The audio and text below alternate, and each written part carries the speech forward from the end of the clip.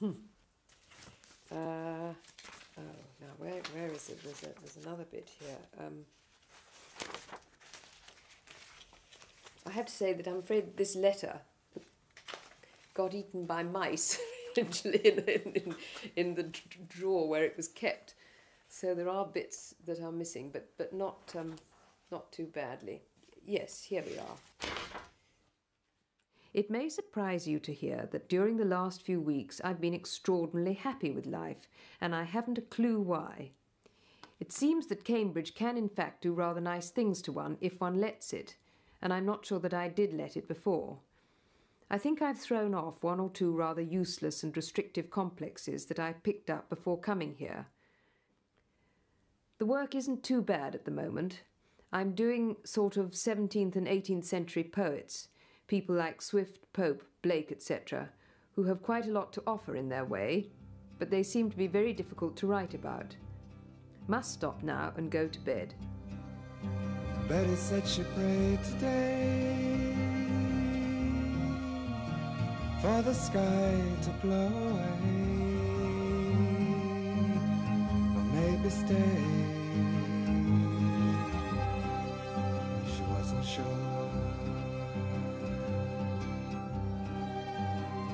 When she thought of summer rain calling for her mind again. She lost the pain.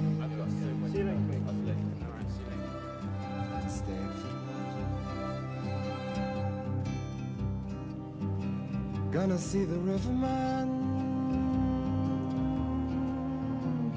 Gonna tell him all I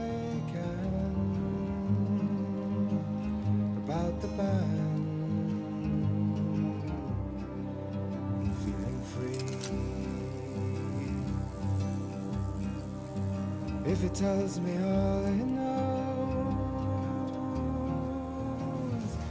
about the way this river flows, I don't suppose.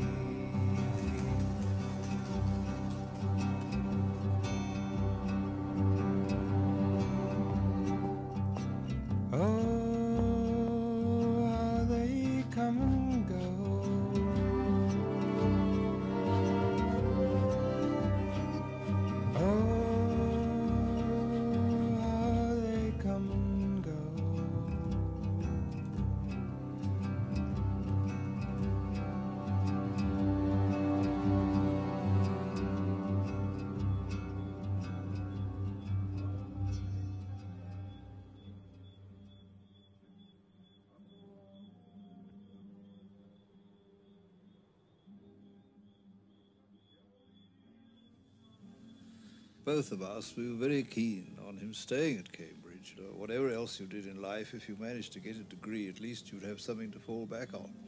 His reply to that was that a safety net was the one thing he did not want. So that rather cut the ground from under my feet. Yes. He used to look back on Cambridge days with a certain amount of nostalgia.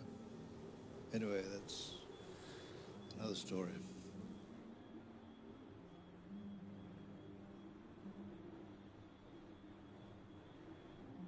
We were actually sharing a flat together in London until one day Nick came into my room and he was a man of few words, my brother, and said, um, Hey, what?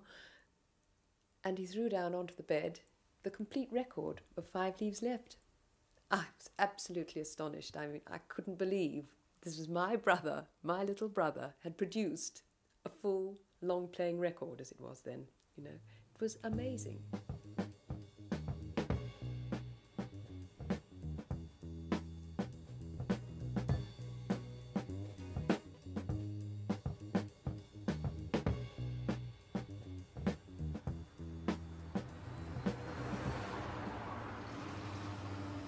Great to work with. All you needed to worry about was the other people, because Nick's guitar would always be right. Nick's voice would always be right. Nick was just there. He was just, you know, and, and I think um, when you listen back to the records, one of the things that's most extraordinary is is the guitar because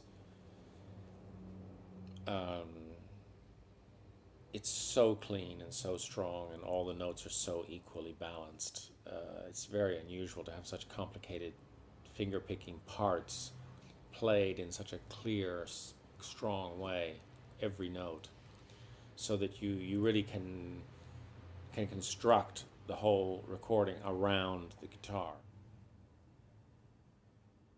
the, I was Nick and I were living in London now, and I think the track, the chime of a city clock, it's um, I'm, just going before the studio now how I worked on it. I very much tried to capture the mood of it, and it was um, bleak, lonely, wet, October evening, trudging around some street in London. There's, there's several songs like that that Nick does as Parasite on Pink Moon. I think is the similar sort of mood, and so we decided straight away that I'd put like counter melodies but no chords. Um, so really, most of the time, it's just a, another tune, a sort of plain chant, to sort of make it a bit lonely and bleak. And basically, there's either the fiddles an octave apart, or the cellos doing the low line, and um, similar in ways to on Fruit Tree, the way the oboe and the cor anglais are, that they're all just playing one long tune and one takes off after the other. Because I didn't really ever want it to take over from the guitar playing, which is really sort of um, well, you'll notice when you hear it, it's it, it's. Uh, to say it's like a machine, I, I don't want to take the art out of it because it's beautiful art. It's very spiritual, but it, it, it, it's all demanding. You, you you mustn't go against the rhythm because Nick's always going to keep that rhythm perfectly. So really, I think it's just that um, we were looking for a bleak, lonely sound, and I think John did it perfectly again because really there was the guitar strings and the woodwinds overdub, isn't it?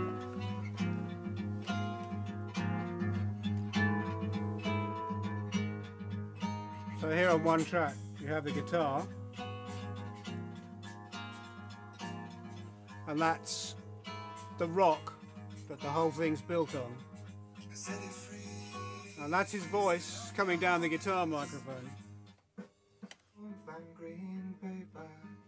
And there's the singing. The city drove you down and out. I see your trousers down taper. The saddle up, kick your feet. Ride the I think that's Dave. That's probably Dave Pegg on guitar, bass guitar. Turn around and come back again. And that's the drums.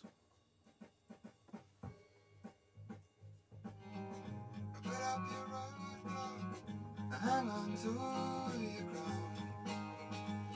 For a stone in a tin can is to the city man who lives as a harlot.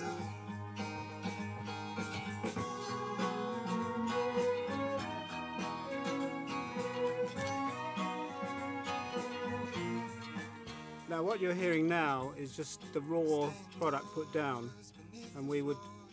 So at the time, when we sat in the control room, it sounded like this. But we would then put a perspective on the sound, from which we'd start using echo. The city star will shine till fall.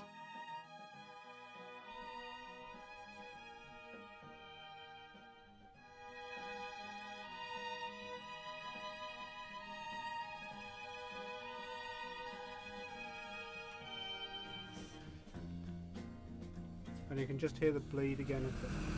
And at the beat of the city drum, see all your friends coming twos or threes or one. For the sound of a busy place is fine for a pretty face. Who knows what a face is for?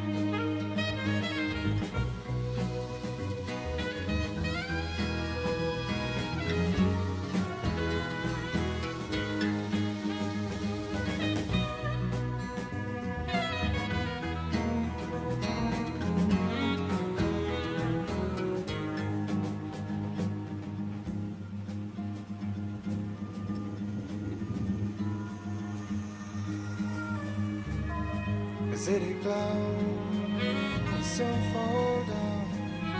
without a face to hide it. And he will lose if he won't choose the one he may confide in. A sunny boy with smokes for sale went to ground with a face so pale. I never heard about the change. Showed his hand and fell out of range.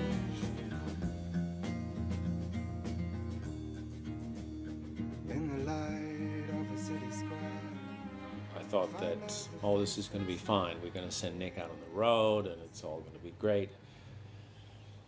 And so we sent him out on a tour of colleges and clubs and, you know, and it didn't work at all because, you know, in this other situation where you have a bar or you have people drinking and talking, he couldn't get anybody to stop talking. You know, he, he didn't know what to say to them. He took a long time tuning his guitar because every song has a different tuning. Um, and eventually he got so discouraged by the fact that people wouldn't shut up. You know, uh, and he's not like, he wasn't like Keith Jarrett, you know, he wasn't, you know, like he wouldn't sort of stop and say, shut up, I'm not going to play until you be quiet. Um, and he just called up one day and said, I'm coming home. And we canceled the rest of the dates. And he never really did, did another show.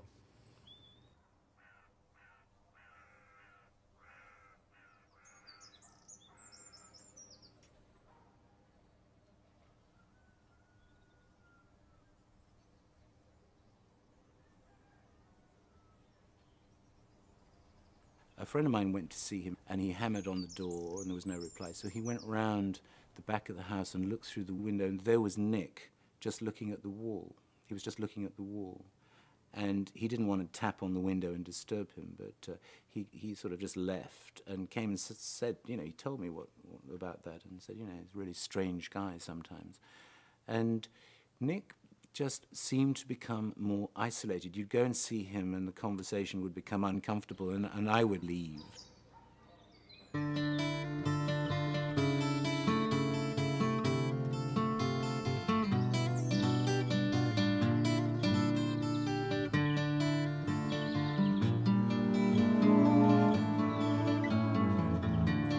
When the day is done,